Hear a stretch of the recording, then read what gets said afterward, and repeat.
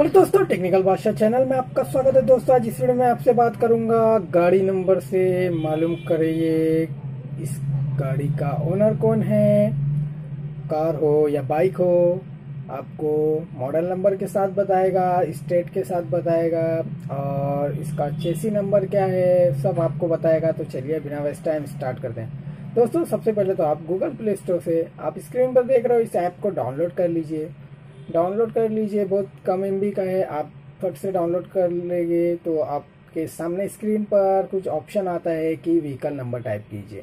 Vehicle number आप type करते हो तो जैसे आप टाइप करके सर्च करते हो सर्च करते ही आपको उसके ओनर का नाम और कितने ईयर हो गए हैं, उस बाइक को निकले हुए, कौन से सन में निकली है, उसका चेसी नंबर क्या है, उसका ओनर कौन से स्टेट में रहता है और ये तो हो गया दोस्तों, आपको पता चल जाएगा, आप कोई भी बाइक ले लीजिए, उसका मॉडल नंबर भी बताएगा कि जैसे यामा की बाइक है हीरो होंडा की बाइक है हीरो की बाइक है, जो भी है फॉर एग्जांपल वो बाइक बता देगा आपको कि कौन सी बाइक है। उसके बाद अगर वो बाइक किसी ने लिया है न्यू और उसने बेच दिया कोई दूसरे ओनर को। कोई दूसरे ओनर को बेचने के बाद इस ऐप पे भी नाम नहीं आता है, उसका फ़र्स्ट ओनर का ही नाम आता है तो आप वहाँ से नीचे ऑप्शन दिया हुआ है चेंज कर सकते हो, उस ओनर का नाम बदली कर सकते हो वहाँ से।